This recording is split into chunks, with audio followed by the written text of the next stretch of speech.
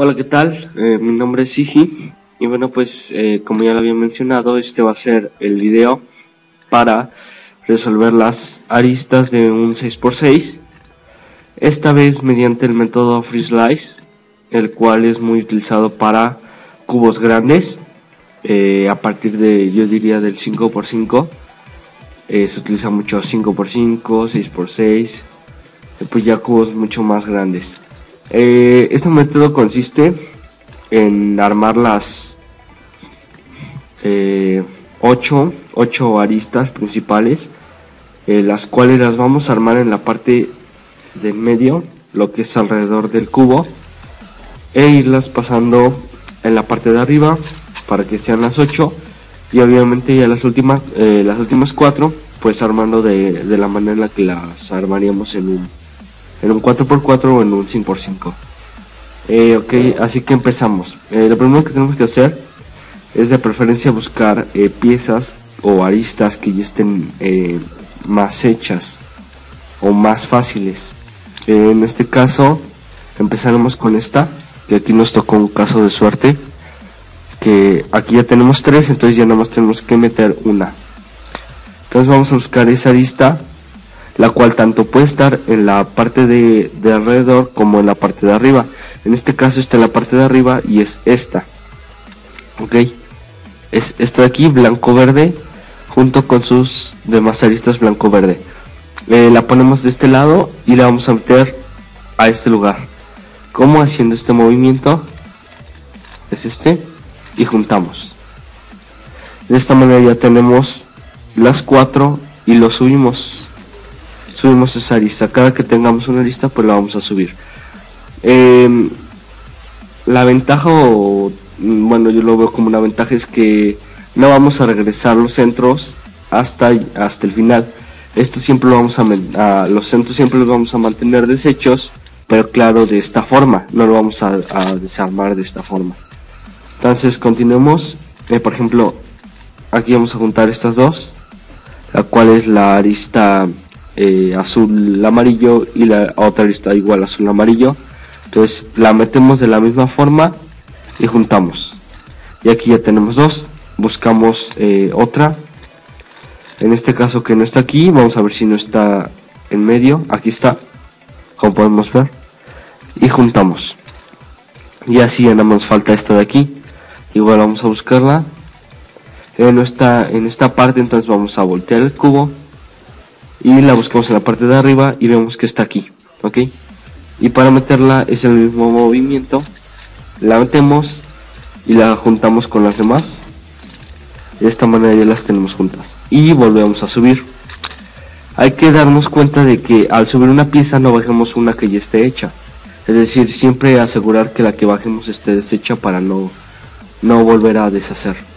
Vamos a juntar estas otras dos la metemos ahora del lado contrario y juntamos. Estas dos que es el amarillo y el verde. Ahora vamos a buscar otras piezas. En la parte de arriba ya no hay ninguna entonces vamos a buscar alrededor.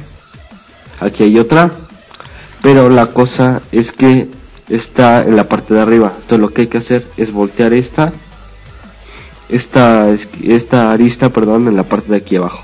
Entonces vamos a aplicar este movimiento así y la juntamos con las demás. Y de esta manera ya tenemos estas tres. Ahora vamos a buscar la última. Eh, que igual no está en la parte de arriba. Vamos a ver alrededor. Tampoco está. Entonces una vez que no esté en estos lugares lo volvemos a voltear y buscamos en la parte de aquí. Y en este caso aquí está. Entonces vamos a meterla de este lado ahora para juntarla con este. Vamos a usar este movimiento que es así así y así es parecido al que usamos eh, del otro lado pero eh, invertido pues. Ya nos juntamos y volvemos a subir. A lo que decía si hacemos esto podemos bajar una que ya esté hecha. Entonces hay que asegurarnos que haya una que no esté hecha. Ok aquí está. Ahora vemos que aquí ya tenemos una ventaja porque tenemos estas dos aquí. Entonces nada más es buscarlas de afuera en la parte de arriba igual no hay ninguna. Estamos haciendo la, blanco-naranja. No hay ninguna. Eh, vemos si están en el centro. Aquí hay una. Entonces, eh, como en este caso sus colores son distintos, lo único que hay que hacer es juntar, ¿ok? En caso de que, por ejemplo, nos llegaran a quedar así, en el que aquí las tuviéramos, estas aquí y esta aquí, pero al juntarlas nos quedan al revés, pues lo que hay que hacer es voltear cualquiera de estas dos para que pueda la podamos insertar. En este caso, volteé esta para poder insertar esta y aquí ya tenemos tres de la arista naranja blanco. Eh, vemos que otra aquí está la otra. Entonces esta la podemos insertar fácilmente así. Ya tenemos las cuatro.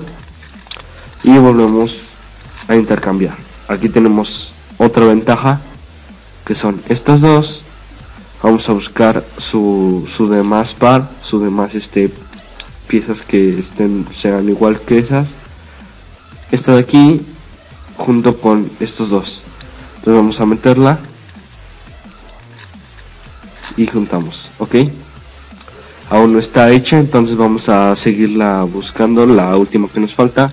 Y una vez teniendo estas tres vamos a buscar la última. Y está está aquí. Entonces para poderla meter de la manera en la que la estamos metiendo los colores deben de ser iguales ok entonces la metemos así y juntamos y así ya tenemos las cuatro. Metemos por intercambiamos mejor dicho por alguna que no esté hecha.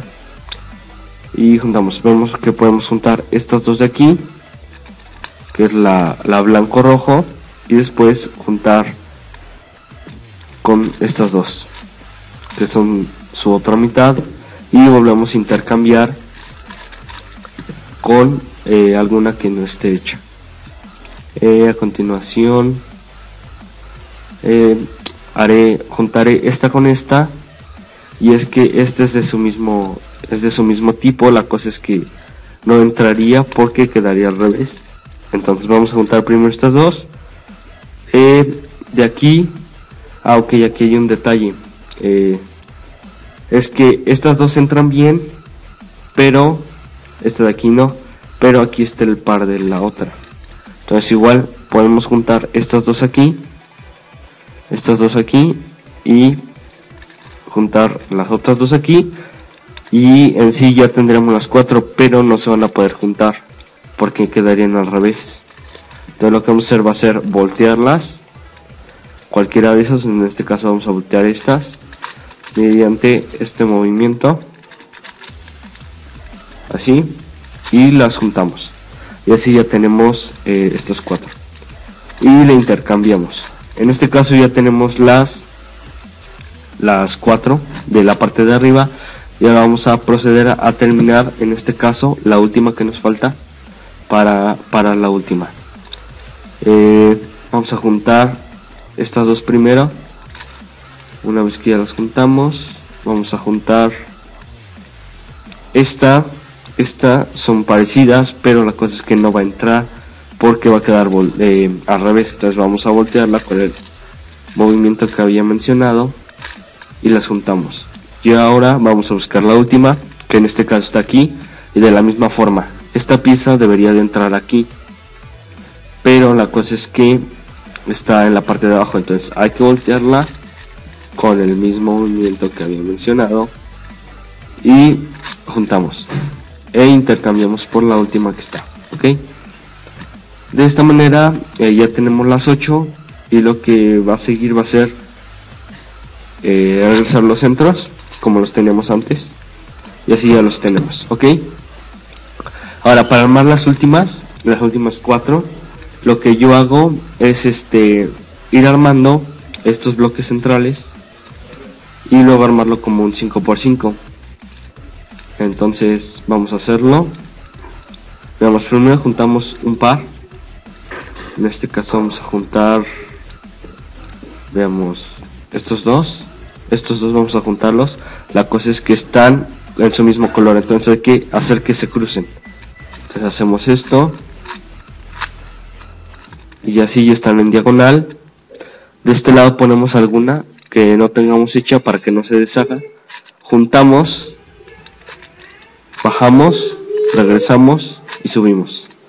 Después de esto eh, lo que vamos a hacer es en este caso ya tengo estos dos bloques entonces los aprovecho y en vez de armar los bloques centrales otra vez lo que hago es este juntar estos tres de una vez. Entonces estos tres no entraría estas eh, bueno estas dos aristas no entrarían puesto que es, tiene su mismo color entonces hay que voltearla así y la juntamos como si fuera un 5x5 ah en este caso ya está hecha esta entonces hay que fijarnos antes de meterla que haya una deshecha. Como esta de aquí la ponemos juntamos hacemos este movimiento y regresamos los centros. Eh, vamos a juntar en este caso bueno en este caso tenemos que esta la vamos a juntar con esta y esta con esta. Entonces vamos a hacer un caso como como 4x4 les voy a poner como 4x4 para no no confundirlos en el cual tenemos las últimas dos aristas y hacemos lo mismo pero con la mitad del cubo. Ahí está. De esta manera ya tenemos todos los bloques centrales y ya lo único que queda es armarlo como un 5x5 em, entonces vemos que vamos a juntar este bloque grande junto con esta última lista ponemos una que, que no esté hecha bueno sí que no esté terminada pues juntamos intercambiamos y regresamos centros. Para las últimas dos aristas lo que hay que buscar es un bloque grande. En este caso no hay bloque, así que tendremos que hacer uno haciendo el algoritmo para 5x5 para las últimas eh, dos aristas. Y una vez haciendo esto, vemos que ya tenemos ese bloque grande, en este caso de tres piezas. Lo que hay que hacer es voltearlo puesto que para ese algoritmo el bloque debe estar del lado izquierdo. Y volvemos a hacer el algoritmo. Que es para 5x5. Eh, una vez teniendo esto vemos que ya nos quedó. Pero nos queda este caso que es un caso de paridad. Entonces hay que hacer paridad de 4x4 para que se resuelva esa última lista. Eh, hay un video referente a la paridad por si lo gustan ver. Y bueno pues esto ha sido todo por el, el video de hoy. Eh, espero les haya gustado. Si viene siendo cierto, la única parte difícil de resolver de este cubo son los eh, centros y las últimas aristas, desde luego. Eh, las últimas aristas se resuelven igual que un 4x4 y un 5x5. Y de ahí viene la importancia de aprender a armar un 3x3 porque de ahí todo se basa en un 3x3. ya independientemente de que te salga paridad o no, en el último caso ya tendrás que recurrir a, a estos algoritmos. Y bueno, pues eh, hasta aquí el video. Eh, suscríbanse a este canal, va a haber eh, muchos más tutoriales, muchos más videos para que ustedes se, se diviertan más que nada y que les guste este canal. Eh, muchas gracias, bye.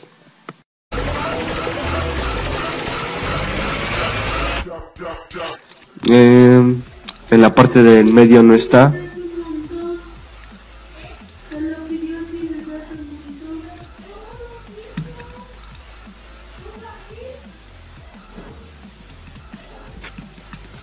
ok de aquí lo que hacemos es